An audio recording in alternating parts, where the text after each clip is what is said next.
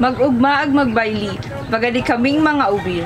Dawa na sa iraram kita ning pandemyang COVID, nagkondusir man ng gad ng paagi para iselebrar ang aldaw niya mga kahubinan.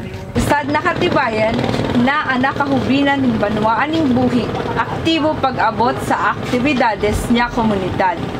Anak kanya-kanyang barangay, San Buena, Santa Elena, San Pascual, San Roque, Santa Clara, San Pedro, ag San Jose Baybayon nagkausad para magselebrar. Kaya musna, singan nyo na asa una presentasyon alin sa poblasyon sector. Just Mamalos.